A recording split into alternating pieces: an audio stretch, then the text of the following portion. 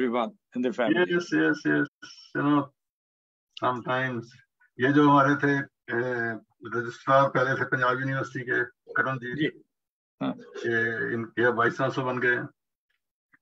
बात मालूम होगा आपको? यू मस्ट बी अवेयर कौन कौन? करम करम जी त- जो पहले रजिस्ट्रार थे पंजाब यूनिवर्सिटी के। हाँ हाँ that's right that's right last to last week उनके बेटे की शादी थी।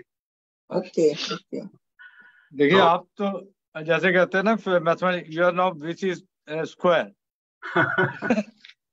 rest of power two और थ्री डॉक्टर ग्रोवर का भी लेक्चर नहीं अटेंड कर पाया. यूनिवर्सिटी बहुत अच्छा लेक्चर था उनका हाँ यस मुझे दुआ साहब ने बताया अच्छा लेक्चर था। आप लोग सब बहुत हाईली रिसर्च रिसर्च करके आप लोग लेक्चर देते हैं। तो आज का टॉपिक आज का टॉपिक भी बहुत इंटरेस्टिंग है। That's right. Yeah, Actually, uh, you see, it is like this. Behind the success of Army yeah. General, there are lakhs of soldiers, well, soldiers who actually make the army to mm-hmm. fight at the border. Yes. yes. I, I, I, behind the top scientists, there is an army of uh, younger ones of all ages, scientific community. Even some are known, some are not known. That's right less known or not known because uh, whatsoever we are doing today that is on mm. account of what we gathered from uh, behind you know, our forefathers, whatsoever, we are able to do it. Uh, you know, the Edison, he had not invented the bulb. We would not have been able to, you know, work. Uh, कई बार सोचता हूँ कि हमारे जो पूर्वज थे उन्होंने कितनी डिफिकल्टी से साइंस की होगी बिल्कुल उस समय तो कुछ भी साधन नहीं था prakash? Not even much of communication yes communication नहीं थी और हम मुझे याद है what we used to do used to remove the जो स्टैंप्स होती है ना पोस्टल स्टैंप्स उस पे स्टैंप कर देते हैं कोई बच जाती किसी को स्टैंप नहीं होती तो हम उतार लेते थे। उसको उतार कर और छह रुपए लगते थे for you know papers reprints मंगवाने के लिए छह रुपए लगते थे एयर के। तो हम तो वो एनवेलप जिसमें ए फोर पेपर भेजा करते थे वो भी हम्म। रीयूज कर चुके हैं. रीयूज में दो very interesting. पर मैं ये सोचता हूँ कि आजकल की जो जनरेशन है they are so good well informed and they are so good even in science तो आजकल the the unemployment has been so much कि उन बेचारों की जो इनपुट्स हैं वो कर ही नहीं पाते आगे I am not taking in account those who plagiarise वो भी आजकल बहुत हैं because of this uh, good communication. हाँ because of, of availability of a lot of it. But some are really good. Is Professor Grover joining us? I don't see him on screen because it is past 11. yeah Only- i think i i, I should call him up and find out Yeah, would you like to? Mahipal calling? Mahipal is already calling. Okay.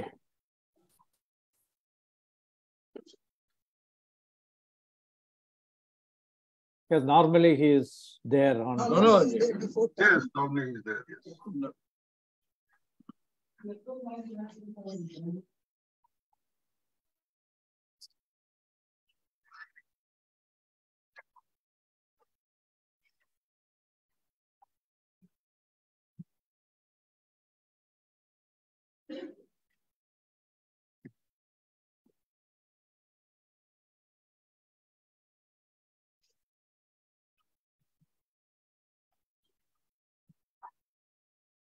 प्रकाश?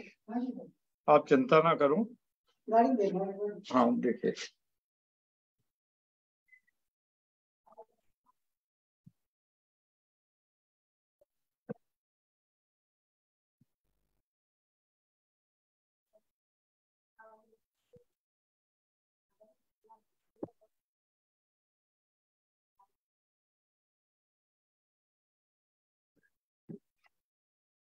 हाँ। Grover Professor Grover has joined.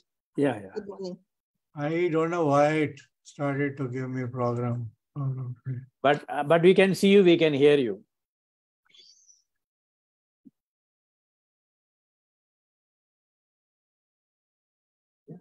Yeah, hello. Yeah, no, it is better. It suddenly started to install updates. yeah, so because that problem at grows up, it is sometimes you open even your uh, mobile there is some Or was it is not even allowing me to leave that uh, in updates.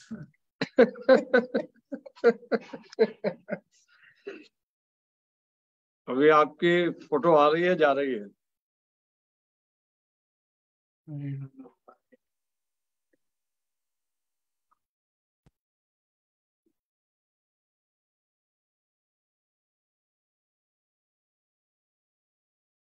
Let me just then put the video off. Ah, now it's okay now. Is this better now? Yes, perfect. Yeah, I'm here.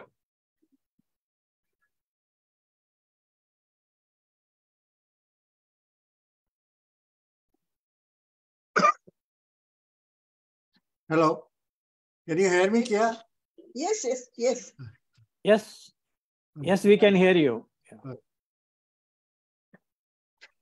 Loud and Sorry. clear. Uh, sorry, then we can start now. Yeah, please go ahead. Apologies for delaying the things. But anyway, good morning, all of you. It's indeed my privilege to welcome all of you to this year's National Science Day lecture on behalf of Society for Promotion of Science and Technology in India, the Chandigarh chapters of National Academy of Sciences of India, the Indian National Science Academy, and uh, Indi- Indian uh, National Young Academy of Sciences, NES. Our speaker today is a national icon, Professor L.S. Shashidhara, the Director, National Center for Biological Sciences, a constituent of Tata Institute of Fundamental Research located in Bangalore. National Science Day is typically commemorated on February 28 or February 29 every year. The National Science Day is, is an event which the SPSTI has commemorated ever since its inception in 2009. It has been celebrated uninterrupted. Prior to the pandemic, SPSTI public lectures were hosted in physical form in a school or a college or a university department or a national institution located in Chandigarh or Haryana. The pandemic brought in the notion of online lectures. The SPI thus hosted the National Science Day lectures during the last two years in online mode in partnership with the Chandigarh chapters of Science Academies and INYAS on a Saturday immediately after February 28, because the day had to be convenient for everyone. So the president of SPSTI, Mr. Dharamvir, wanted to go back to the practice of hosting Science Day lectures in physical form from this year. So hosting a lecture on a working day, as I said, is, is inconvenient for the members of the science academies as well as the young members of INYAS who have their teaching duties. So we decided to host two lectures to commemorate the National Science Day this year, one in the physical form and the other in the online mode. So at Dharamvir's request, I gave the lecture in the physical form on March 1, and that was titled on uh, Raman Effect and a Nobel Prize awarded to him. The theme of National Science Day this year, as prescribed by Government of India, is Global Science for Global Well-being. To speak on such a theme, we decided to invite a national icon who is engaged in progressing the theme in a proactive manner. So Professor Shashidhara is aptly suited for this honor, and we are lucky that he readily accepted our request to speak on our platform today. So thank you, Shashi. I have had the good fortune of interacting with you on several platforms. In addition to serving on the committees of Indian Academy of Sciences, Bangalore, you had contacted us as you, along with Professor Kembhavi, proposed the creation of Pune Knowledge Clusters four years ago. Our audience will remember a brilliant lecture delivered by Professor Kembhavi also on our platform just a few weeks ago. Professor Shashi is also a, has also been a very active part of the Delhi cluster DRIIV floated by IIT Delhi.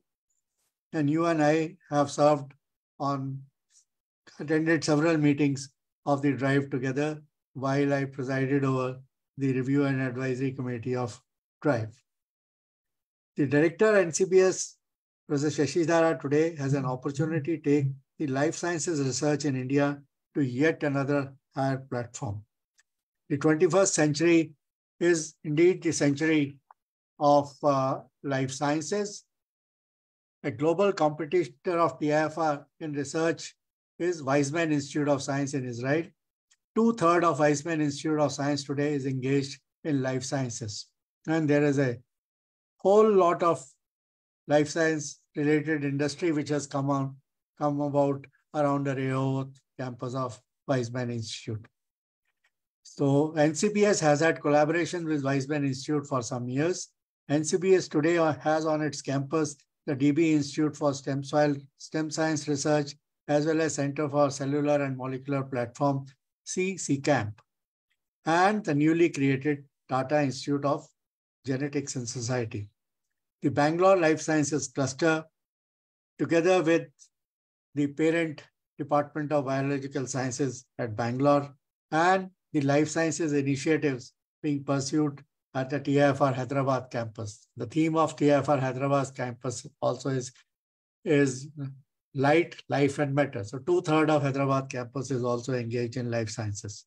Uh, so I am personally looking forward to Shashi providing leadership to all these entities and bridge the gap between the Weizmann Institute of Science and the TIFR during his tenure as the director of NCBS.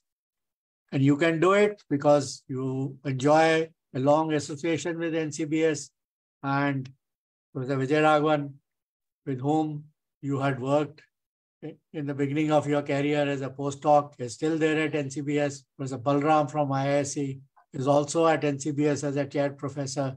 So you have the strength, you have the experience, and you have the support of the TIFR, the DAE, the DBT, and the DST to lead this national in initiative and make India proud. So welcome to our platform, and we are Thank looking you. forward to, to your title, which to your lecture, which you have very aptly uh, titled as Less Known Success Stories of Indian Science Transforming idea, uh, India. So please add to more such stories and let the Indian scientists feel proud of the work that is being done. So now may I invite uh, Professor Rajat Sandhir to formally introduce Professor Shashidhara for all of us. Well, you already had a very long introduction. I maybe Professor, Professor Sandhir. Good, good morning all. My life has been made easier by Dr. Uh, Arun Grover. He's already given some insights about Professor Hari, uh, Shashidhara. So I will still formally introduce him. And I would say he is a visionary scientist who's contributed a lot in terms of molecular biology. His contributions are in science communication, policy making. So I will just take you over the journey of his career. He was a trained uh, agriculture scientist. So he did his B, UG B, uh, and post graduation in agriculture sciences from University of Agriculture Sciences, Dharwad and did PhD from University of Cambridge in chlorophyll biosynthesis. So after he came back to India, he joined Dr. Vijay Raghavan's lab in 1997. And for two years, he switched over to work on Drosophila fruit fly, which he commonly called. And he had made contributions in understanding the role of Hox genes, which are embryonic development genes, which play an important role in uh, limb development in Drosophila. And he also had contributions in the area of uh, cancer biology using Drosophila as a model system. And he particularly looked at uh, role of uh, this APC gene in colon cancer, and which has been think, thought of as a target for cancer therapeutics. Interestingly, uh, he worked for a number of years at CCMB and continued to work in the area of this Drosophila, skin cancer, biology, and things like that. And he had a great contributions in developing Indian Institute of uh, uh, Science, Education and Research, Pune, from which he built from scratch.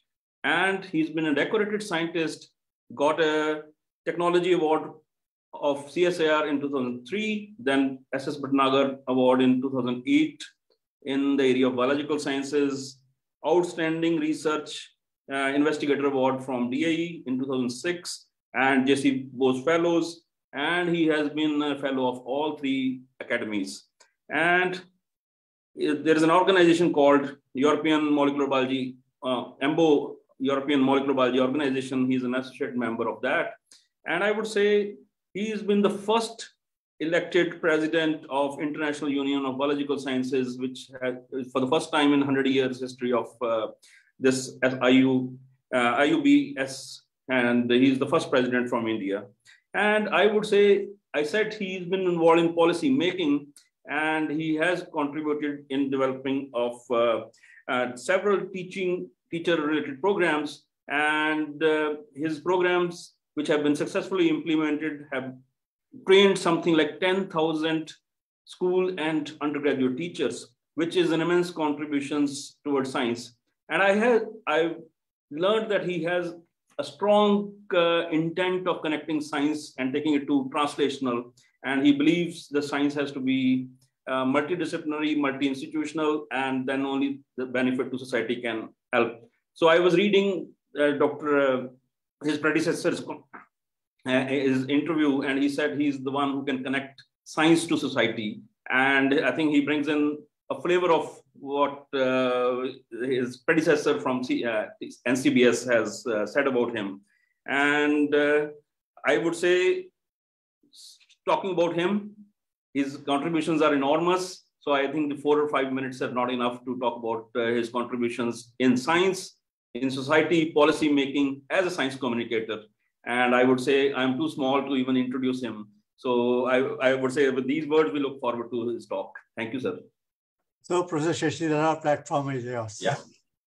Thank you. Thank you very much, uh, Professor Grover and, and for uh, you know, Rajat for, for a you know, kind introduction.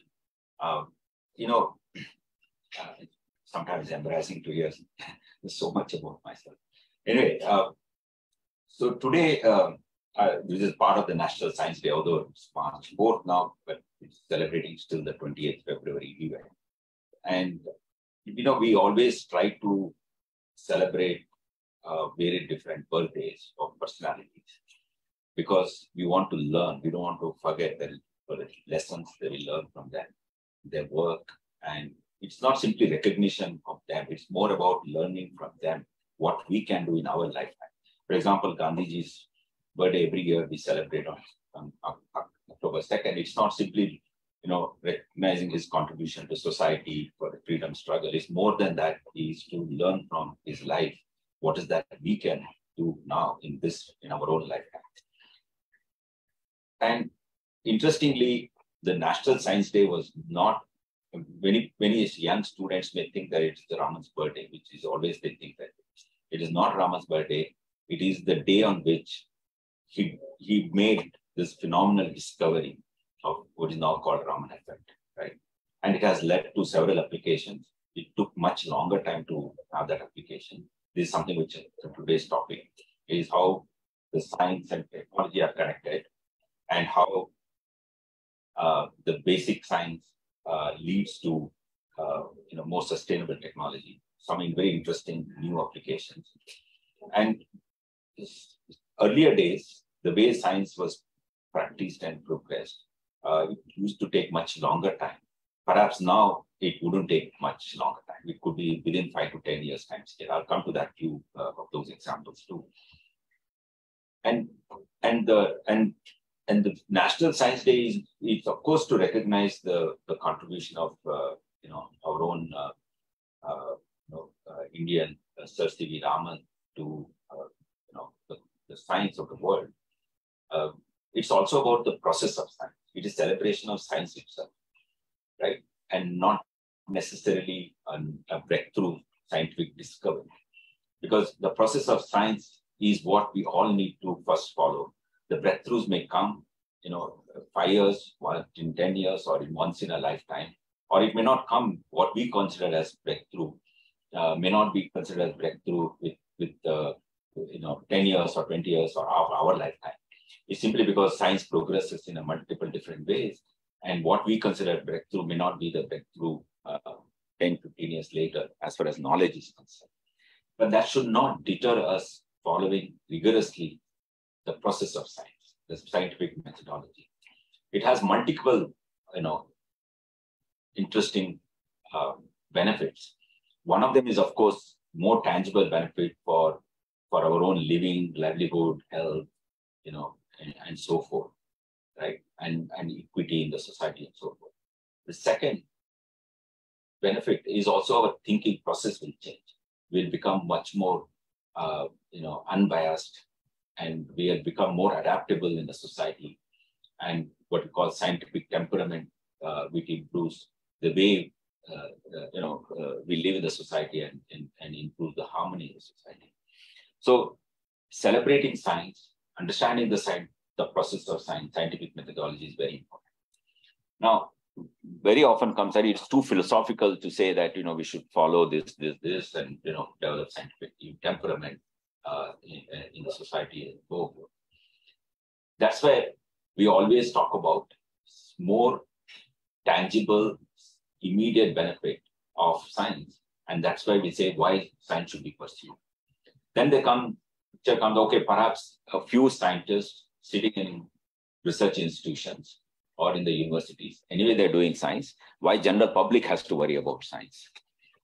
Right? So that's when we need to really look at the you know science as a social endeavor for the entire society uh, has to be part of the scientific discoveries and, uh, and and the process of science. But at the same time, some may be more direct, taking the leading role, and some perhaps more indirect and taking the slightly a back seat, but still supporting. And finally, all of us are also, you know, as a human being, as in, as in addition to playing several roles in the society, we also play a role as mentor to our own children. It could be my own, you know, children, or it could be you know in the family circle or it could be in the larger circle we also mentor directly or indirectly all the younger generation and if i am somewhat well knowledge, better knowledgeable and have better understanding of the process of science and importance of science in the society i will also encourage those children also to follow those ones right and that's also important that every citizen should be aware of the importance of science in the society right? So, and because the tendency is to sort of, you know, look at the science as those scientists like Einstein or Raman or uh, Jagdish Chandra Bose and whatever the work they did, uh, which led to, uh, you know, major recognition, although unfortunately Jagdish Chandra Bose didn't have the same level of recognition that uh, others had including the Nobel Prize, but doesn't matter. But they, Jagdish Chandra Bose is as you know household name as and many other scientists in this country, whether the Nobel Prize or not. But not necessarily that those are the only role models uh, uh, of scientists for the society. It could be in your own backyard. It could be in your own neighborhood. There may be a scientist who are working so hard to contributing to the society you may not recognize. And recognizing those people also important. That's the only way that large number of people will practice uh, in, in you know taking a um, you know, uh, science as a profession or support science directly or indirectly as a citizen uh, of, the, of the world, not necessarily uh, of a nation. Finally, uh, science is global. Uh, science is uh, universal. And there is nothing like Indian science and American science or European science. But the but the but the, the benefit of science sometimes can be local, uh, it may benefit more local, you know, people in the certain you know, regions. More importantly, the way uh, the very different problems are manifested, whether it's health or uh, climate change related problem or environment problem, they are manifested differently in different parts of the world. So while science is global, the knowledge is universal, the solutions, which is science derived, evidence based solutions, would be somewhat local. So that's something which I'll talk about very quickly. So what I'll do is I'll take you through uh, a few stories here. And these stories are, you know, some of them are published, some of them are there in the literature, but you have to search. It is not very obvious uh, for you. Uh, and um, can you see my screen, all of you? Can someone mention that? Not yet, not, not yet. yet. Not yet. You can't see, okay.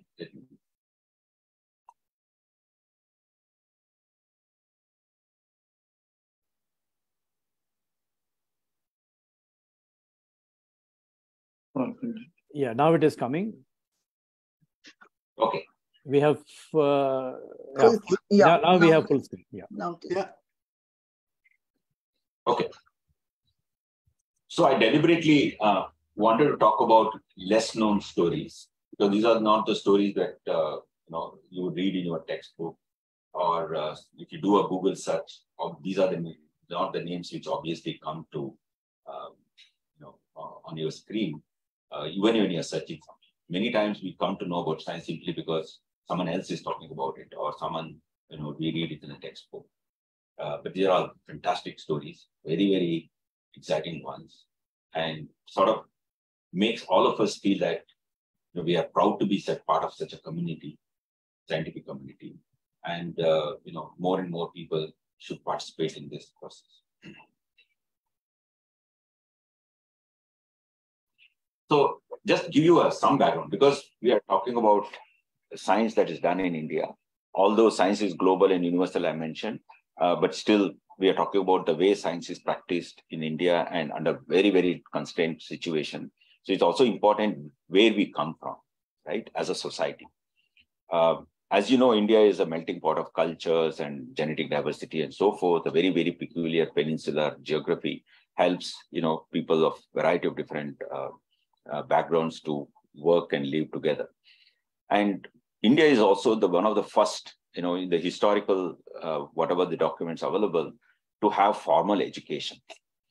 Whenever I say formal education is where there is clearly a transfer of knowledge from one generation to another generation in a very systematic way with the help of professional, dedicated teachers. Typically, knowledge can be always transferred from parents to offspring or in a, people who are living in a smaller groups. It happens even today in tribal population where there is no formal schooling system, but still they learn from from elders, you know, very different sounds birds make or what is the meaning of those sounds and so forth, or which plant is useful for food, which plant is useful for medicine and so forth. But a formal education where the, the knowledge that is accumulated over time is systematically in a very structured way to transfer to the next generation, also to make, to improvise the knowledge, the process of improvisation of knowledge itself also taught as part of the uh, education, which actually documentary history says that perhaps India is the first one, if not, it, it could be one of the very first ones, but my feeling is it could be even the very first one. And the reason this is also, uh, you know, that we, India has certain kind of strengths and expertise in certain areas of, um, you know, inquiry is because of this kind of a background. It's built over three to 4,000 years at least, that we are good in logic and philosophy, good in mathematics, right? And uh, obviously, all you know about number system, algebra, and, and other mathematical aspect, and then inquiry and argumentation. And uh, those who have read uh, Amartya book about argumentative India, it's not necessarily about the fun part of argumentation. It's also the you know the the the the scientific inquiry, which is through argumentation, right? Uh, so these are all the strengths of of India. Um, you know, even before uh, you know British came into picture, and the the kind of the science that is practiced today systematically has its origin in Greece and later sort of spread in Europe. But for a very long time, it had actually was sort of in the back burner in a way. But there is a period in history, and people call it as a dark medieval age. There was a, almost like 1,000 to 1,500 years of time. There was really hardly any uh, major, uh, you know, academic discoveries happened. Although in India, we still continue to produce fantastic mathematics, astronomy, and so forth in 18th, 8th century, 9th century, and so forth. But the, the, the European science, the, the way it is being practiced now globally, at its renaissance time, it has it was sort of had a re-origin or, or a, call a rebirth, if you want to call that way. And and during the same time when you know the European Renaissance period, art, culture, science, music, everything sort of uh, flourished. And that's the time some of the major discoveries and the, you know, the, the how to make the knowledge production completely unbiased, how to make, how to develop the system of validation, verification of knowledge, so that we leave out, you know, anything that is unbiased, uh, you know, which is not as a verified knowledge. when we talk about unbiasedness or you know verified knowledge, I'm not talking about simply 100 people sitting together and, and looking at the what is biased and unbiased because all of us could be biased simply because not because of deliberation not because of lack of understanding lack of you know expertise in logic or mathematics it's simply because we are born with certain limitations of what we can see how we can see how much we can see right? We certain wavelength of light we can see certain wavelengths we cannot see. Certain you know kind of sound we can hear but certain ultrasonic we can't hear for example. Radio waves we can't hear directly. Whereas you know you know certain kinds of size we can uh, you know resolve you know certain size we cannot resolve distance wise everything.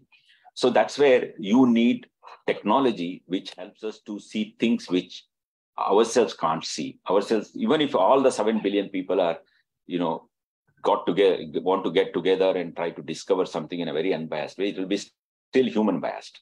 It's simply because human brain is involved in this.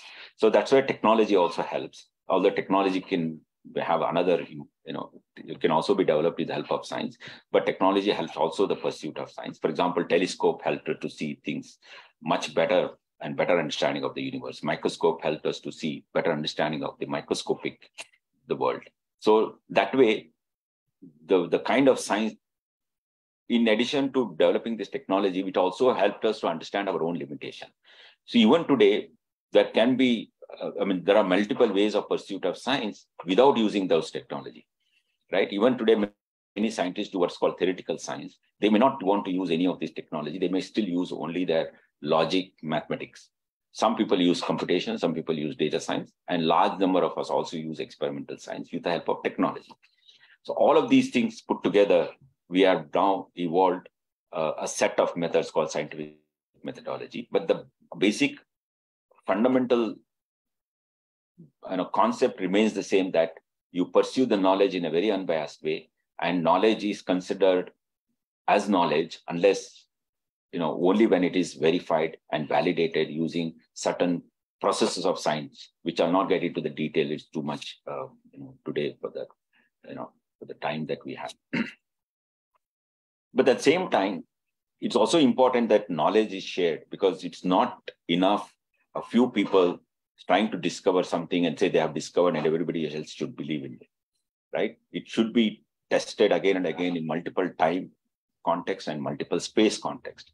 So across the time and space, you know, scale, any knowledge needs to be verified and validated again and again, unless unless it's time tested and and it, it cannot be used as uh, you know a body of knowledge which is considered as is close to what you call absolute truth and that requires participation of very large number of people and that's where we need to communicate knowledge to the larger audience when communicating larger we wouldn't know whether that person is you know has sufficient expertise and understanding to comprehend something new we should not be even thinking in that way. That's one of the reasons why we need to communicate knowledge to everybody. So writing books, you know, or using, uh, giving lectures are all multiple ways we do, scientists do this. But writing books is the one which has a much larger scale uh, dissemination of knowledge, right? And, um, you know, the when the Johannes Gutenberg revolution happened, it also not only we could communicate knowledge with the help of text in multiple copies to large longer distances in the shortest time possible and during those days it also for the first time in human history we could start transmitting the knowledge with the help of images rather than only the text which is which is also another you know important way of communication and of course now with the help of internet and other things we you know in real time exchange knowledge so now coming up to this point, what I'm trying to say is India was already very poised for any new innovation that can happen or any new method of knowledge production that we take up. So while British started this higher education system in, in, in 19th century, they were not necessarily interested that Indians should start practicing science uh, uh, and, and in the way the Europeans are doing. They wanted you know, uh, the modern education uh, of the British style for having intermediaries between the British uh, people who few numbers who are coming here uh, and, and to govern this uh, the country and large number of people who you know uh, represent uh, Indian population and but work for the British government.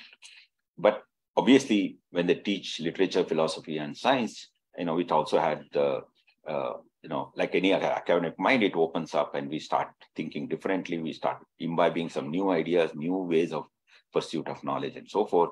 So the so-called modern science entered into India, and and we are the very first one to adapt this kind of a modern science very quickly because we are already ready. In fact, large part of this so-called modern science was already, you know, had Indian, you know, contribution to it. The, the mathematics or uh, logic and philosophy, many things had already spread from India to other places and then came back. But there is still a very new version of so-called modern science that we talk about, experimental science of Greek origin, and the use of technology like microscope and telescope and so forth, spectroscopy and so forth, was somewhat new. That you had to use technology to be unbiased in absolute way uh, was something which was imported from uh, from the Western uh, countries. Okay, and that's when we started uh, in a very big way uh, introducing science. Just a, a fun part, side part is also the other contribution when British came to India was also contribution of violin to Indian music. You know, it's amazing the the way violin is you know used, particularly in southern uh, South Indian Carnatic music. Many people think that you know as violin is so nicely you know adapted is as if you know violin is part of an Indian origin, as part of you know together it has you know evolved over time. It's it's just about 200 year old in in Indian music. Anyway, and there are you know very different ways we introduce this uh, you know one. But interestingly what happens is when you start opening up your mind you also start opening up you know your social mind and seeing that you start seeing inequity you start seeing you know the problems in the society. There are so many you know uh, you know superstitious um, belief system which are actually detrimental to the society and uh, which may have evolved over time the lack of knowledge, not because of any deliberate vested interest, is simply lack of knowledge. And there are also many other things, uh, you know, uh, uh, you know, uh, very very disruptive uh, practices India's civilization was following, and some of those things also helped, you know, the modern education helped to remove some of them. But at the same time, the the injustice um, of British rule of India was also was very evident when people actually studied you know the british legal system british philosophy british democracy and so forth. And they could see that democracy is such a nice thing to talk about but it is not being practiced here in india right? So that itself also helped in raising indian nationalism. Some some of the almost every why why some of them almost every major freedom fighter or social reformers of 19th and 20th century were actually studied in British education system, and and they also led started their own new uh, education or even research organizations. You can see here, Indian Association Cultivation of Science, where Raman did his work, was actually started in 1876 in the in the middle of the Indian, uh, uh, sorry, British rule in India, right? So you know, so many other institutions were also started. They all started contributing to not only to the science, also to the societal problem with the help of science. And in Indi- after independence, uh, the very first prime minister, Jawaharlal Nehru, had a lot, a huge uh, confidence that science and technology will help solve many, many problems and also bring in equity in the society, right? And, so, you know, at that time, he and several other uh, great leaders, one of them is, of course, um, uh, uh, Maulana um, um, uh, Abdul Kalam Azad, Azad Kalam, he was the education minister, you know, invested a lot of his time and efforts in setting up, you know, new education institutions, particularly like, you know, universities and IITs and so forth. A large number of research institutions were set up at the same time. And you can see some of them are set up and, you know, Indian, you know, uh, science and technology um, sort of started expanding into the whole country, even to the smaller towns uh, during those time in up to, um, you know, in the last 50, 60 years, in the first 50, 60 years of India.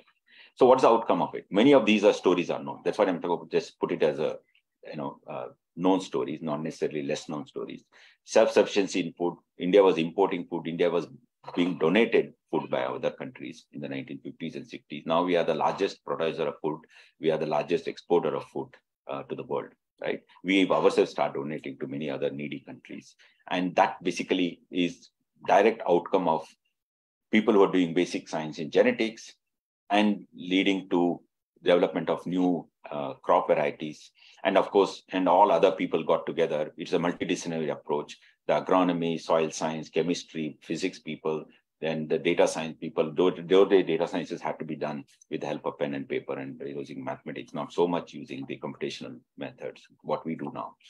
But still, they all got together and there was a support from the political government and also large number of economics also supported this whole initiative finally led to what's called green revolution in technology wise also IISc one of the early institutions and of course is the one of the oldest institution of this kind in india and they also helped in developing so many new programs for indian post-independent india like dae was set up isro was set up dst dbt were all set up for developing uh, indian science and technology ecosystem and IST is all you know. It's sort of strength behind the modern economy. It's also a symbol of India's confidence in modern science and technology. And these were set up in 1950s and 60s.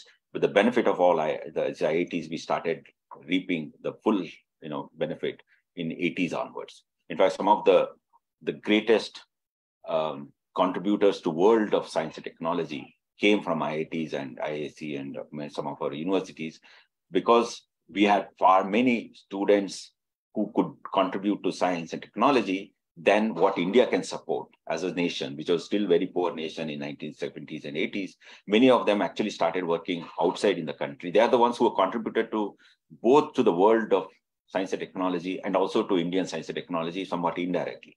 You know, all these Microsoft, Intel, IBM, and some of these big IT companies, whether it's hardware or software, led by Indians. Even today, they are led by Indians. And they contributed directly and indirectly to, to India because many of the, the, the MNCs to come to India, one of the main reasons for them is they have seen you know a few thousand people what they could do in, in, in Silicon Valley. They were looking, saying that India has millions of such people. Why don't we set up in India itself you know, Microsoft in India itself, or Google or Intel or you know, uh, and IBM's.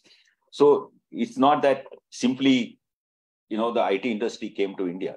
It's the MNCs came to India as a big, big investment. In fact, every one IT person that an MNC hires and sets up a shop in India, there'll be at least 10 people get jobs because of the ancillary support system. That's how IT industry is contributing to Indian economy. And this is somehow the direct output of investing in education and both in science and technology um, early in 50s and 60s. And green revolution, I already spoke about. This is the some evidence about how much production we had and how much we have now and how much we are, you know, the other things. I'll come to that few of the less known thing, which has not only solved some of the Indian problems, it is also a global contribution. Recently, um, you know, um, uh, Dilip Mahalanobis uh, was awarded uh, posthumously uh, Padma Vibhushan, as you all have heard about him now because of that award, but he died you know, unfortunately, about three, four years, three, four months earlier than that. And until he died and his name came up in the newspaper, most of us had forgotten his name. Obviously, you know, the, that's why the, the award came posthumously and not when he was still, you know, alive. And his contribution, it's everybody thinks that what is, you know, it's about the oral rehydration, right? What he made was many of the problem of, you know, diarrhea or any of that kind of problem particularly you know in in places where water can be you know problem. Uh, there is another uh, interest similar kind of uh, you know one is you combine sugar and salt, right? You had to keep certain kind of osmotic uh, you know balance, and you also had to ensure that there is movement of you know salt inside and outside. And giving some sugar along with the salt helps because of the the the you know every cell is a is is is a living organism in itself. The entire bioenergetics happens inside a single cell. We may be about 50 trillion cells in our body, but the energy that is required for all our activities, whether I'm running or I'm lifting 100 kilograms, right? That ATP that is required, the chemical energy, which finally gets converted to mechanical energy, that ATP is generated in individual cells. It's, there is no one big centralized energy production system in the body. But what happens is, if I can do more things compared to a, a sim, simple single cell organism, is simply because large number of cells work in synchrony, right? So large number of cells, like muscle cells, work in synchrony.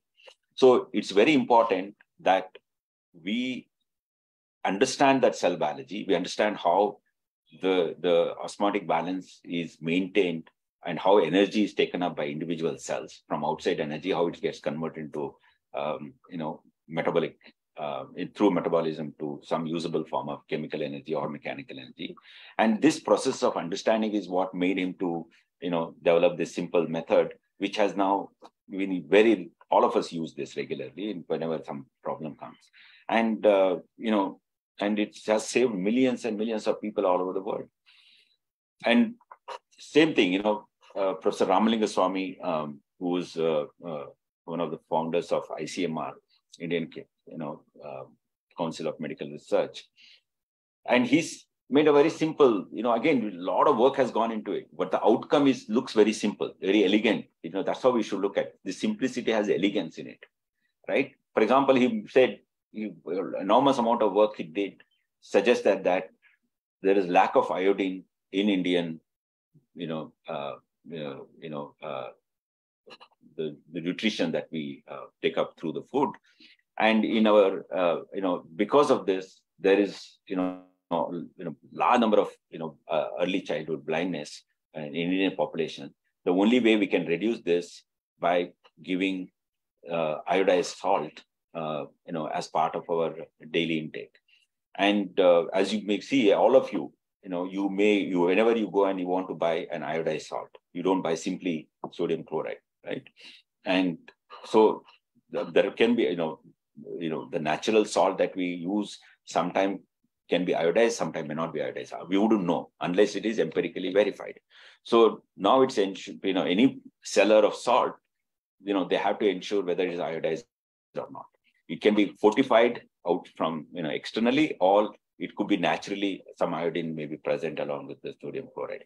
So this is, you know, another major contribution. Again, all of these discoveries were implemented at such a large scale in Indian context, which also helped immediately to be implemented in other smaller countries where they, didn't have their own science and technology base.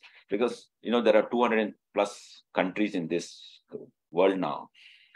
Science and technology is still in only in a limited number of countries in a very systematic way we do. This pandemic helped, you know, with basically an evidence of it. Large number of countries, not necessarily based on the population size. Similarly, even countries which had more than 100 million people, many of them didn't have RT-PCR, you know, uh, testing labs. Many of them didn't have a way of producing any kind of pharmaceutical drugs or vaccines. So we had they had to depend on outsiders. Professor Sambhu Nath De, uh, I'm again, and many of you, uh, some of you may have heard, large number of you know general public would not have heard, and uh, you know, and he is the one who identified what is the toxin that is present in the bacteria which causes the the symptoms when there is a cholera. You know, uh, is uh, we, we we suffer with cholera. Again, his discovery over time led to understanding that one way to treat is, of course, using certain kinds of antibiotics against the cholera bacteria or certain kinds of drugs against the cholera bacteria, not antibiotic. It could be non-antibiotic, you know, other drugs, or to reduce the symptom.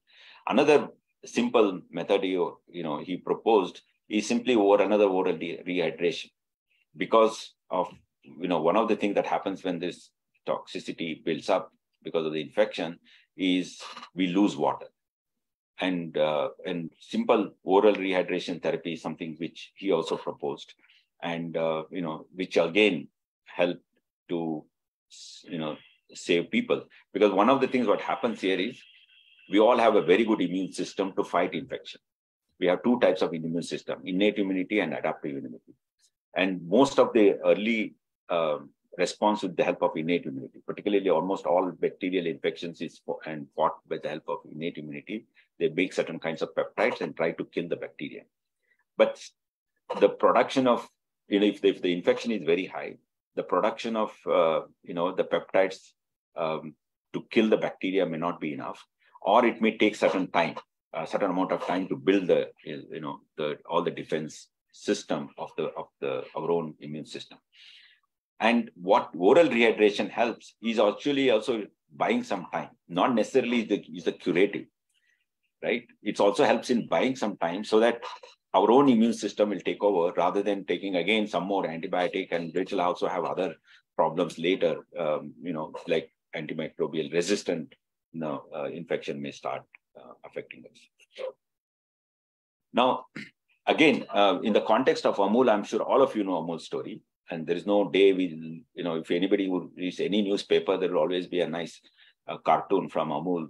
Um, but you know that reminds us about Amul and its quality and everything. Amul is sort of is also synonymous of scale and quality both. Amount of milk that is pooled and made different products and the quality of the products and supplied to the you know not only India to and also export to many countries. But there are also you know what people don't know is there are a couple of very interesting technological improvisation with the help of basic science, people already had knowledge of basic science behind it. They could very quickly come out with. One of them is, you know, Indian large part of Indian milk production is based with you know you know because of the buffalo dairy and not uh, you know the cows, right? So the the the the baby milk powder, which is a major part of the nutrition for children for mothers who, who are deprived of nutritious food and because of which they cannot give uh, you know uh, milk to the babies. The baby milk powder is a major source of uh, you know uh, nutrition the food itself. And uh, we couldn't make baby milk powder when amul was um, was trying is simply because the buffalo milk is more fatty and almost all the baby milk powder making machines were developed in denmark or in uh, in in netherlands. They were all you know, were using for the cow milk. CFTRI in Mysore, Central um, Food and Technology Research Institution, they developed a technology, but first they understood the very different aspect of the chemistry of the, the milk and very different lipids that are present. And based on that, they actually thought of what should be the temperature, what should be the pressure, what should be the, the, the, the concentration of you know, nitrogen gas in the system to make sure that we can make baby milk powder from the buffalo milk, and they successfully made it. And then Amul started making baby milk powder from buffalo milk in 1970s. Another major innovation is um, uh, using these plastic sachets, low density polyethylene sachets, which the we, until then we, we, remember we were all used to get milk in bottles and uh, it could only be delivered to us shorter distances you can't send it to longer distances and uh, and also storage will become a problem, uh, particularly in the refrigerator and kind of thing. Refrigeration itself was not so much, uh, you know, in practice in 70s and 80s. So if you can get milk in the morning, that's the this, and they will not be able to get the milk in the evening. So in the absence of good nutritious food, which milk is the major source of nutrition, and our performance in sports, our performance in other kinds of work, everywhere there was some limitation because we we cannot, you know, you know, ask people with the low uh, BMI and you know, low muscle power to participate in many of these kind of things. At the same time, cognitive ability is also largely dependent on how much nutritious food you children get early during childhood.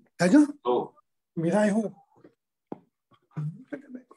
okay. So in that context, supplying milk to the doorstep of people at any time of the day uh, was important so that children get nutritious they get their nutrition.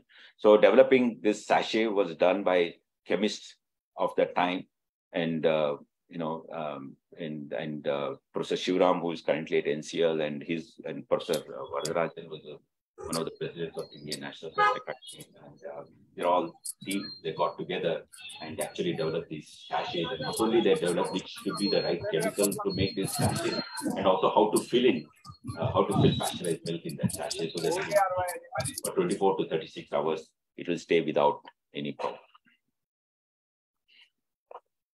Plant tissue culture is another area which is a trillion dollar uh, kind of a business now all over the world. It has helped many, many countries, many, many places. Unfortunately, India itself lost on the business aspect of plant tissue culture, although we are now one of the largest users of this technology.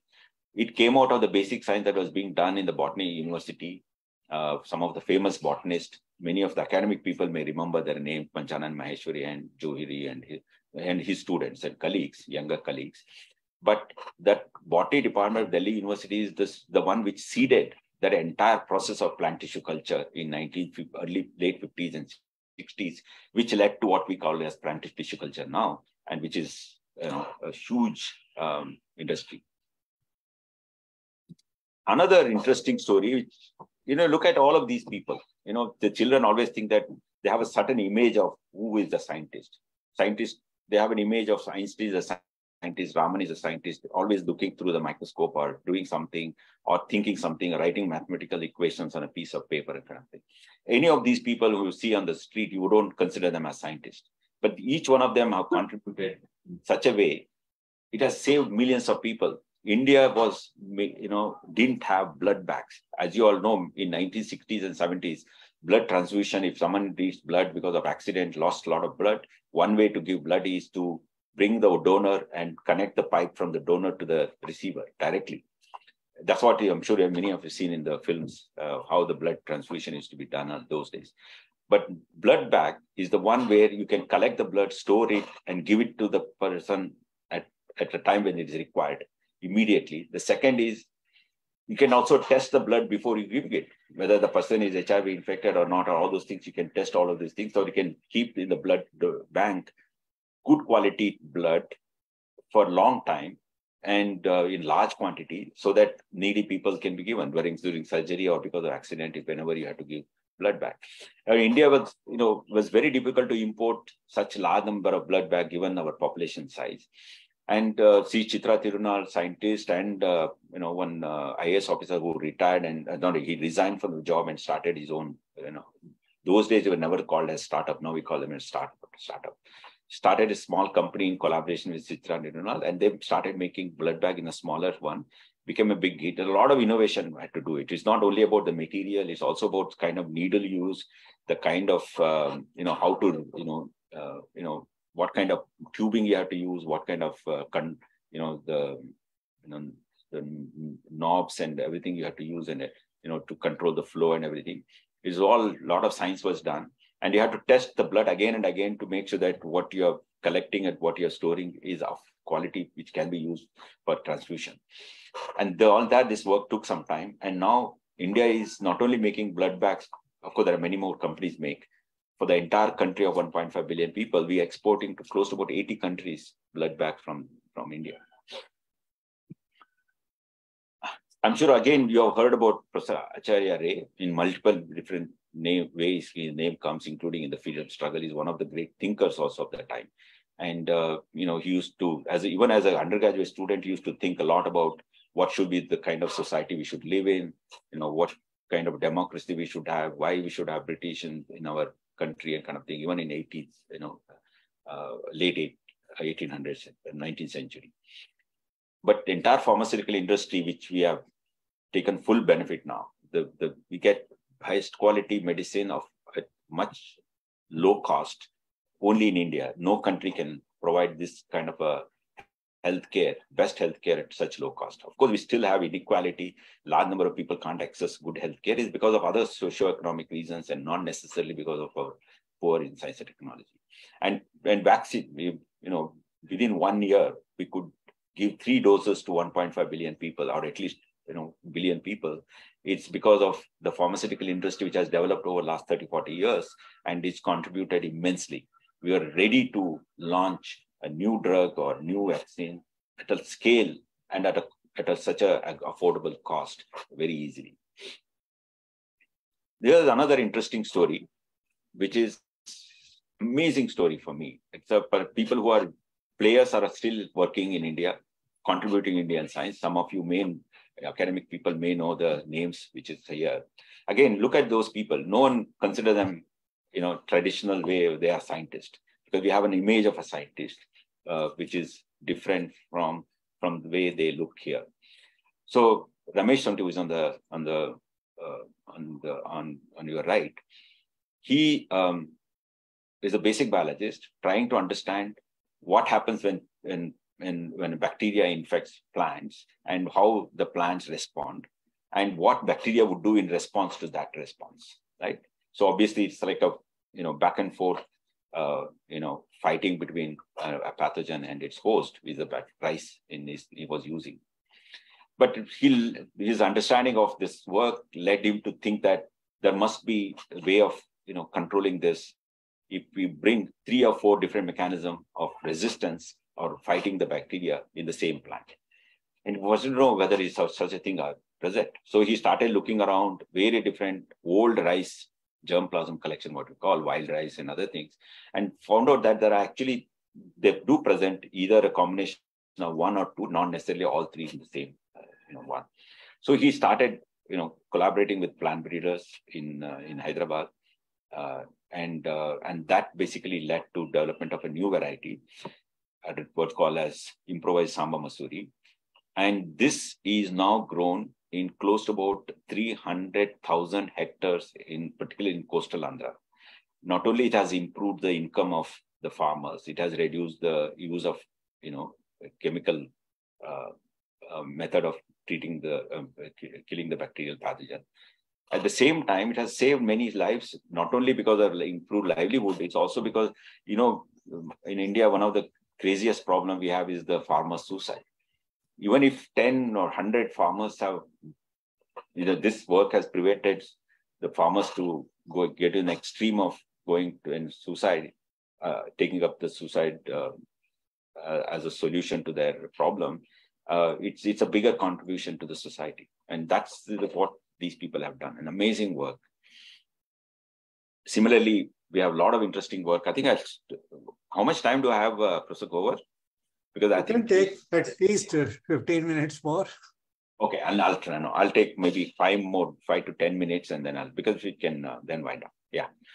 So, you know, basmati rice, we all eat, some, you know, some people eat every day. Some of us eat once in a while on certain occasions. But, you know, ethnic basmati coming from, you know, this, uh, you know, Himalayan, uh, you know, certain regions, it's, it has a big you know attraction and you know the you know uh, there's a big market too. And uh, there's because of this there are also a lot of adulteration used to happen. And uh, many european countries and which were importing basmati from india they say no we don't want to import anything because it's all adulterated. We want that you know specific region basmati or authentic basmati from specific region. That is the um, the you know uttarakhand you know some parts of uttarakhand so the, the basic work that was being done in CCMB and CDFD, uh, and which led to DNA fingerprinting for forensic and other purposes. And they initially thought all the work they're doing is mostly related to uh, human or at the most with few other animals. But when when the, some uh, it was it came from the from uh, rice export authority, they only came forward and said, can you do this for us? Can you use DNA fingerprinting to identify authentic basmati so that we can stamp every bag of basmati that goes from India saying that it is DNA fingerprint authenticated, which is the best technology you can think of, high resolution, high, most reliable technology. And so the scientists in the two places, they actually develop a technology where even this kind of a barcoding can be done for plant ones. So now the every batch of basmati rice that is exported gets a stamp that it is verified with the help of the so-called uh, DNA fingerprinting, which is, uh, as I told you, the most advanced and reliable technology for this kind of purposes, and which has improved now export, which again improved the income to the farmers. It has collected a large number amount of you know tax for India. So for the about five to ten crore rupees of investment the scientists made during this development, Indian government is collecting at least 500 crore per year in taxes, export taxes, right? Think of it. How much is the contribution to the society because of, you know, the fund that is being generated? But of course, scientists didn't get anything, not even an award for this. They, you know, uh, they're working, of course. They are, I don't think they are regretting. They're not even expecting anything. But they're completely unknown to most of you uh, in the audience. I'll, I'll skip the IT revolution again. IT revolution is a huge, you know, uh, you know, but you don't know the players of IT revolution. You would know the benefit of IT revolution. Every day we are benefiting from this. Our life has changed completely. Our income status is completely changed completely, right? And in the last uh, 30 years since the liberalization in 1981. But you know, very interesting, irrespective of how it started, but you look at in one of the thing here happened. TF, uh, sorry, amongst the, all the initial, um, you know, by the way, first four, com three computers which came to India were a donation to India. The fourth computer, government of India bought it. The fourth computer that was bought went to IIT Kanpur. IIT Kanpur is one of the first to start a BTech in computer science. It's uh, maybe the second in the world or so, or third in the world, if I'm correct. I think the Caltech was the first one, and uh, one other one in the maybe you know not the east coast of US, another one the west coast is stuff. I think India may be the third or, or so, or the second or the third to start the BTech. Maybe Professor Sathyamurthy would know. What what this happened was that you just started generating the human resources to use the computers, develop the technology, develop the software, and develop new methods of you know applications of computer, right? That has led to huge change, not only India, for the whole world. The entire revolution, you know, happened, right? So it, many times, you know, what you want to do today and what is the benefit of which many times you know you don't know whether you're really ahead of time or so. People always say that you know i was ahead of time no one accepted my you know idea and kind of thing. Sometimes with, with conviction we should just go ahead and do it you know and sometimes it may fail it sometimes it may you know work out. But it works out it can have a you know disruptive change to the whole world. That's exactly what happened uh, when computer science was introduced as an undergraduate program in IIT Kanpur in 1960s.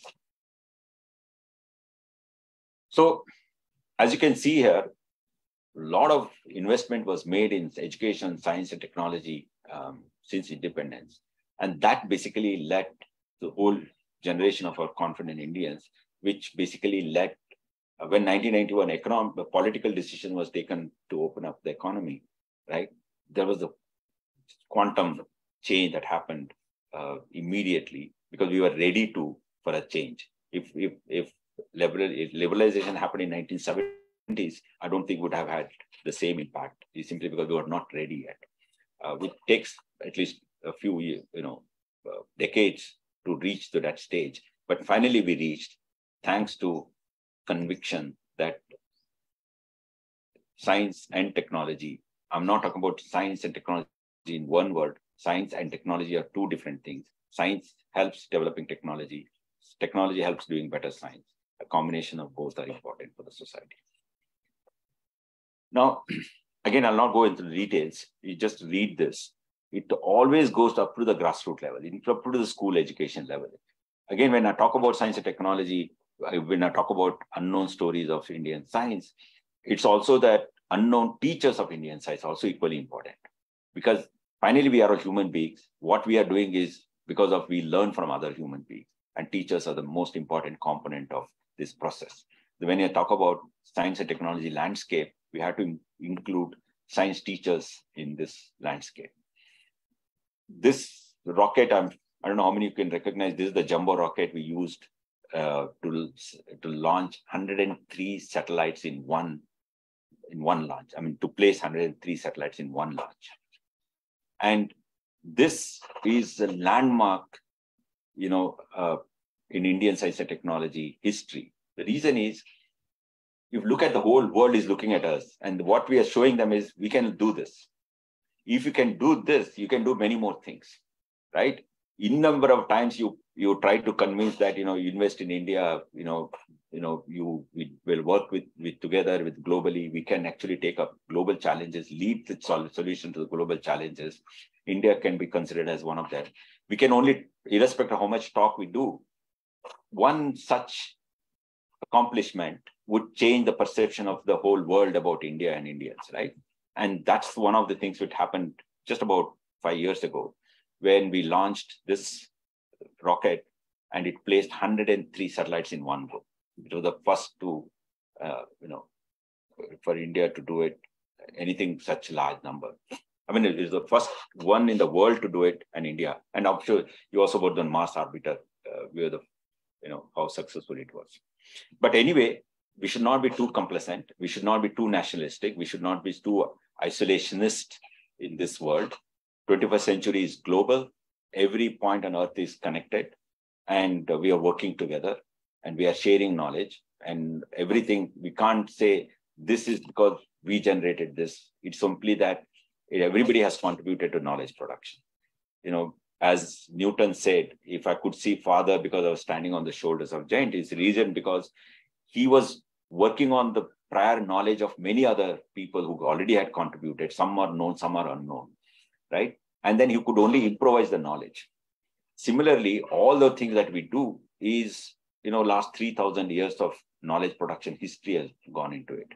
And obviously, everybody has contributed it globally. Some are directly, some are indirectly, some are known names, some are unknown names, large number of them are unknown names. So, and it, we are now, you know, one con- global community. In fact, if you look at the human history uh, evolution, we started a small community in so Eastern Africa and then migrated out and made so many different communities. Now, with the help of modern technology, we are still we are still living in different parts of the earth. We are made speak different languages, have different cultures, but we are connected now. We are one community. And this one community can solve the bigger problems, but requires local solution. So, for example, climate change can have different impact in different parts of the countries, different parts of the regions, different parts of the world. Pandemic could be a global problem. It may manifest differently, slightly different in different parts of the world. Even non-pharmaceutical intervention may have to be different for different parts of the world. Pharmaceutical intervention also can be different, maybe different in different parts of the world. So, so you need strengths of the local science and technology community, but it should be connected to the global community. We cannot only work on our own and try to solve all of the problems. And in that context, working together with the rest of the world is very, very important. This lesson that we learned from COVID is the best example. I, you know, every day, information used to be put up on the internet through, you know, reliable resources or sometimes through unreliable resources like YouTube. People shared everything, and that helped us to quickly identify RT-PCR-based method of you know identification and separation and isolation and non-pharmaceutical intervention like lockdown. We also went into you know variety different other ways of controlling the infection or reducing the symptoms and also um, developing the new drugs and the vaccines right? And which basically made the pandemic uh, passe um, you know in the human history um, rather than you know bringing too much of a disruptive change. It has, of course, has unfortunately had had really disruptive change to the world, uh, human society, but still uh, we have come out, uh, large number of us have come out um, okay because of contribution of science and technology, and also the fact that the whole world unconditionally shared information uh, without any problem and in real time, sorry in Indian context, there are a large number of unknown people have worked together. We started with two testing center in the beginning, and we actually during the Delta wave had to close about 12,000 RT-PCR testing center. A large number of science and technology people, scientists, students, science students, and they all contributed to this RT-PCR test. And um, we actually produced, you know, RT-PCR kits because even couldn't import we didn't have even reagents locally produced like dNTPs in India. We had to start even thinking how to make dNTPs and use it of, for the purpose of diagnostic, which are supposed to be high quality at a high scale. Started with uh, no indigenous kits to making almost a million kits per day, build the capabilities.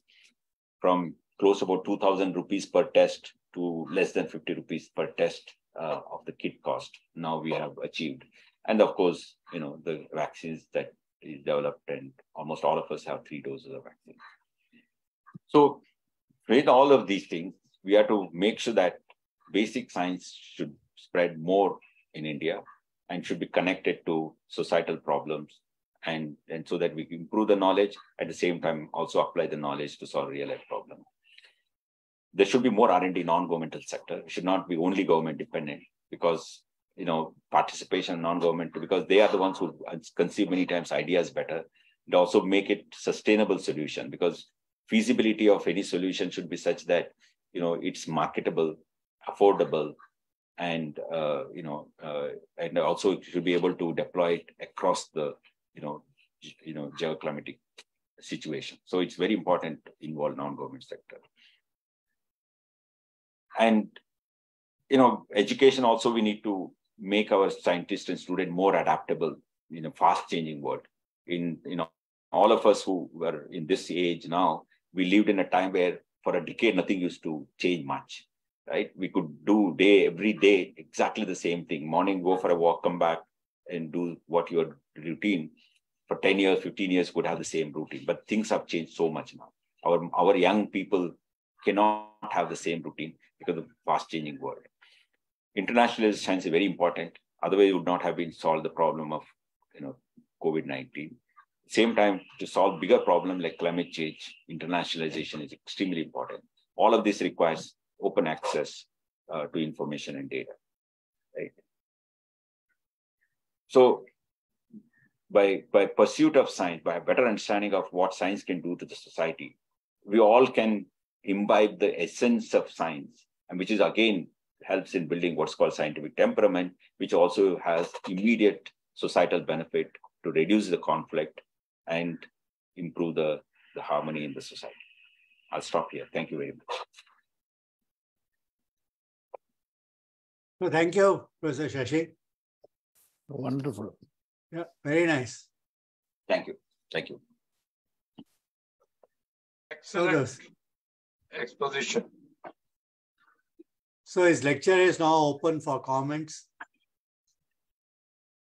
and questions. Sorry, I think I took five minutes longer than. No, no, it's okay. That's perfectly fine. It was quite absorbing. So, uh, Mr. Sathyamurthy? No, no, it was a it was a beautiful lecture. I have no uh, I have no specific question to Shashi other than to say that I really enjoyed and I enjoyed his message that he uh, he conveyed throughout the lecture. You know, sometimes people say that we have not done science. Uh, recently, I think it was. I think it was.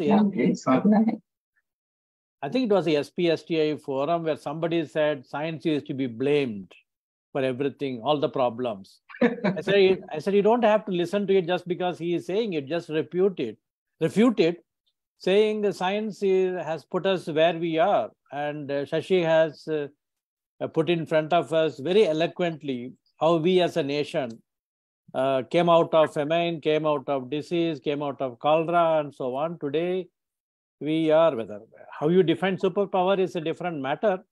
Uh, today, we are a beacon of hope for, uh, particularly for what they call the southern uh, part of the yeah. globe. I, I, congratulate Shashi for conveying this uh, message. And I also like I, I like his saying this has to go across to the people that science has put us where we are today in India in terms of the global map. Thank you, Shashi. It is really wonderful. Thank you. Thank you. So before I invite uh, Dr. Jatinder Kaur Arora, whom we have specially invited to share her thoughts uh, on this lecture. And there are some comments which are people have put in the chat box, which you can read. And in particular, there is a question, what are, what are your thoughts on people saying brain drain? Okay. Brain drain. So I, will yeah. answer this. Yeah. yeah. So, uh, you know, this is something which we always hear. I always already answered to some extent, mm-hmm. particularly when it comes to science and technology, it's global. And you know, many times we cannot contribute to science in in simply that any part of the world is you know conducive to any particular area of science. Certain kinds of science you can do only when there is a critical number of certain you know uh, you know uh, scientists of that particular area of work are in one place? So sometimes we go and want to work in Princeton or Harvard or some kind of a place so that it's easy for us to, you know, contribute to science the way we want to contribute. There's nothing wrong in it. Second is, um, I already gave you the example of IT industry, right? The IT industry, the whole world developed. In India is the largest beneficiary of India and China, which are the large, you know, close to about 3 billion people put together, more than 3 billion. And uh, the largest beneficiary of IT revolution, which is all seeded by a small number of people who actually went out. Why, why did they go? Because, you know, we trained them in computer science in 1960s, and there were no computers except in six different places, right? When we had 60, let's say, computer science engineers, what will they do? But they could contribute to the growth of IT industry in the Western country and then brought back. You cannot blame them that they were, you know, didn't, you know, could they have built uh, Intel and IBM in India simply because they were in India and, you know, what could they have done it? You would have lost in the ocean of people who, you know, not been able to contribute. They would have lived for themselves in some way. Could they have contributed to change of the world? Why do you want to expect that you work for India all the time? The world is this world of science because whatever we learn has been contributed by people who built pyramids to people who built China Wall to people who made Indian mathematics so famous. So we contribute back to the world and we all benefit. India benefited and the world benefited. So I'm okay with anybody working anywhere. There's nothing like brain drain is only our our imagination. There is nothing like brain drain. Mr. Jairoop, would you like to join? Mr. Jairoop Singh? Professor Jairoop, you can unmute yourself. Yes, I have no specific comment to make except to tell that I enjoyed the talk very much. And uh, what you know, many people propagate that science did nothing in India, and why should they be spending more money? I think this should be eye-opening for them what actually science has done for India, and justifies very well why the science should be funded more in India than what the, the cuts in the research are being made. It should be eye-opening for them that we would still need a lot of pumping of money into the scientific research in India. Thank you. I really enjoyed the talk. Thank you. There is a comment, uh, Shashi, which says it was a great talk. So good to hear about unsung superstars of science and how it has contributed immensely to society. Considering global urgent challenge like global warming looming us, it may be important for some more scientists to do outreach and work with local community. How can science outreach be scaled with quality? This is posed to you. So, uh, how can science outreach? Yeah, so you have been engaged in it at Ashoka, you have been engaged in it at Pune, yeah. and now, I mean, you can lead it at Bangalore, you know. Sure, sure. The I mean, I'm, platform. I'm passionate huh? about it. So science outreach, uh, of course, you know, the you know, one is of course uh, doing some research on people how they, you know, uh, actually been able to contribute the way contributed, right? So what are the different conditions in which they worked? For example, the Sambhu Nath De or uh, or uh, you know um, uh, you know Dilip Mahalanobis, how did they actually able to you know come out with these solutions? What kind of you know understanding they had in the beginning, whether based on the work they did, how, what new understanding they obtained, how did they do it? What was the level of confidence they had in in in, in this kind of a solution? And and the process is very important. And one has to do research and then communicate that widely using all kinds of media. And these days, modern media is very, very effective. But we have to make sure that we communicate truly as scientists and not to glorify anything. So we have to be very honest in what we communicate. And that's important. Otherwise, science communication will fall. You know, within three to four years, people will see lots of, you know, fake information or uh, unverified information. And then people lose confidence in science. So when we communicate science, we have to be extremely careful. It's as important as practicing science. Mm-hmm. In equally important that we follow the same integrity and ethics of science when we practice science, which also we used in science communication. So we have with us Dr. Jatinder Kaur Arora, the Executive Director of Punjab State Council of Science and Technology. Comments? And yes, Professor Dua, before. Yes, Professor Shashi, it was one of the best uh, lectures in which we went through the album of the people, of the men who changed the world, especially in India, and brought a silent revolution, which is apparent these days. This album is too unique to be kept as on, on the, you know, in the libraries as well as in the classrooms. But somehow I was missing the two names. One was that of uh, Narendra Singh Kepi, and the second was that of F.C. Kohli. In fact, Narendra Singh sorry. Kapany. N.S. Kapany. N.S. Kapany. He was of he was given Padma Bhushan two years back. Last year he died and was offered the scientific advisor's post to Government of India in 1947 by Pandit Nehru only. And so was F.C. Kohli also, who brought the IT revolution. In case, my request is that in case you add these two names also in this album, it will glorify it, it will it will enhance the beauty of this album further. That's my request. Thanks.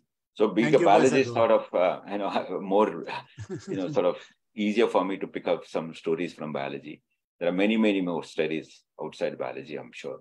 One of them is, of course, in, you know, Punjab University, I think, has was the first accelerator in the in the country, I think, or in this part of the world. Yes. Uh, Other than the um, US and Europe, the first accelerator in Asia came to Punjab University. I think they were the ones to set up and used for undergraduate teaching. Some of the great physicists came out of PAU because of the accelerator they had. And Professor M.S. Randhawa played a major role in this scientific programs. So thank you, Professor Dua. So may I now invite Dr. Jatinder Arora, Arora for her comments. Uh, thank you, Thank you for having me here. In fact, uh, Dr. Keya, I think you're uh, you are unmuted. Yeah. Uh, so thank you for having me here. Uh, one can hardly comment on anything. I think we were spellbound listening to Professor Shashi. Uh, so Dr. Dua made a comment and, you know, would like to and also, Dr. Shashi said, uh, you know, there is elegance in simplicity. And he beautifully picked up uh, very simplistic examples. And uh, the whole lecture was so flowy with the elegance. You know? So, Dr. Kapany, Narinder Singh Kapany, you mentioned Dr. Dua. So, perhaps all the students who are here uh, today on this forum of SPSTI would like to uh, start from there that uh, fiber optics, the discovery that he brought on board from, uh, I think, 1988 to 2000, that led to replacement of all the copper cables with the, the optic fibers. You know, because the speed at which the data could be transmitted was revolutionized because of uh, Singh Kapany. Uh, and the other, other name that uh, came to my mind, uh, obviously, as uh, Dr. Shashi said, that there is a need for uh, building communities, you know, communities with conscious, well-informed communities at the local levels. So talking of the subnational perspective, a few other thoughts that a few other names that crop up in my mind uh, one is of uh, dr ds athwal uh, the unsung heroes. Uh, Dr. D.S. Athwal was the founder of Department of Plant Breeding in Punjab Agriculture University. And, uh, mm, and uh, the uh, variety uh, of wheat that he came up with, you know, most popular amber grain wheat, Kalyan Sona, you know, that was his contribution. And you rightly mentioned the, from the state of being, uh, you know, food insufficient nation to the nation which could supply uh, food, which could become a food surplus country. You know, I think these are uh, again huge contributions. Uh, talking of the unsung heroes from Punjab, I think. Professor Arun Grover is the best one to speak of those. Ruchi Ram Sahni, for example, 500 lectures he gave in 1885 and uh, taking community along, building an informed, conscious community. Um, in fact, many names are coming to my mind, but I'll keep the comments very, very short. Uh, uh, today, the state that we are in, for example, talking of the state of Punjab, we are, when we talk of bicycle production, Punjab produces 80% of the bicycles produced in the country. Talk of sports goods manufacturing 75% of total sports sports goods that are manufactured in india are manufactured in punjab thousand uh, hand tool manufacturing units. So this all could become possible because um, it was in a cellular you beautifully said dr shashi that uh, you know india was the seat of knowledge.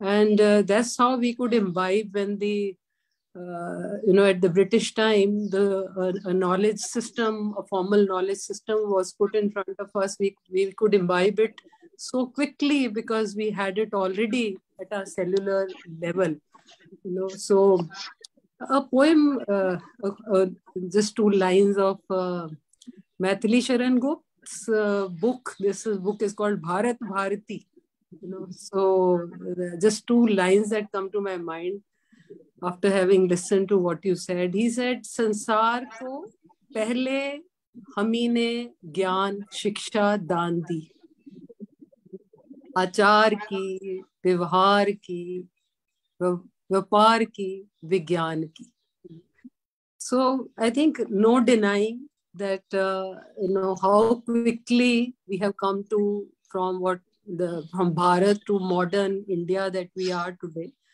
and again, talking of uh, you know the state of Punjab, giving uh, quickly one example that we are the uh, this Punjab is the highest tractor manufacturing state, and that is possible because the level of innovation. It's known as enterprising uh, you know, people with lot of, uh, you know, jugad in their uh, blood. Uh, but talking of, say, one industry, Mahindra and Mahindra from Punjab, which is the highest patent filer company also from Punjab, one tractor uh, product that they came up with, it's called Code. More than 100 patents have gone into making that one product. So that the level of, that's the level of innovation uh, that the companies have here. Um, I think beautiful. Uh, I'm falling short of words, having having uh, listened to such a mesmerizing effect that you left on all of us.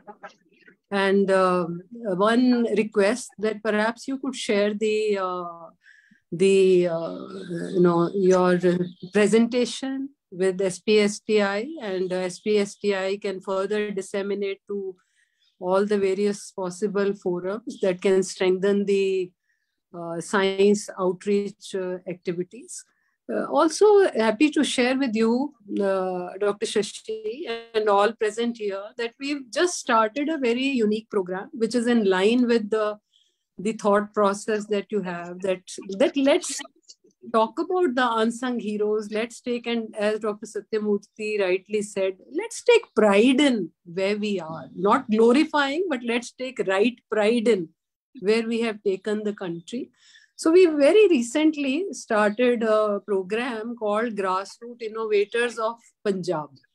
It is uh, we've conceptualized in collaboration with National Innovation Foundation of DST, Government of India, wherein we are encouraging the grassroots inno- innovators, be it farmers, be it artisans, be it small-time mechanics, who have come up with these small innovations which have uh, potential to make a large impact. So this, uh, uh, you know, I would like to also take this opportunity to, to share that the call is still open.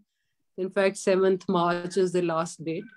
And uh, we're getting overwhelming response. And uh, the idea is that let's take, uh, let's celebrate these unsung heroes at the grassroots level and provide them all the facilitation that is required, maybe for IP protection, maybe for scaling up their ideas and so on and so forth.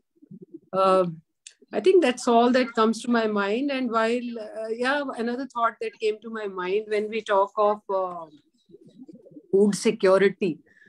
Uh, since I taught, since I studied and then uh, served also in PAU, uh, three out of the total 51 recipients of World Food Prize, nine came from uh, India, and one third of those came from Punjab Agriculture University. Uh, uh, Professor Khush, I'm sure many of us know, 96. Surinder Kumar Vasal in 2000, Ratan Lal in 2020. So a brilliant idea. Congratulations to SPSTI. Professor Grover, thank you for having me here a brilliant idea of uh, uh, you know conceptualizing this lecture the way it was. I think it will go a long way in inculcating scientific temper. Thank you. Thank you once again. Yeah.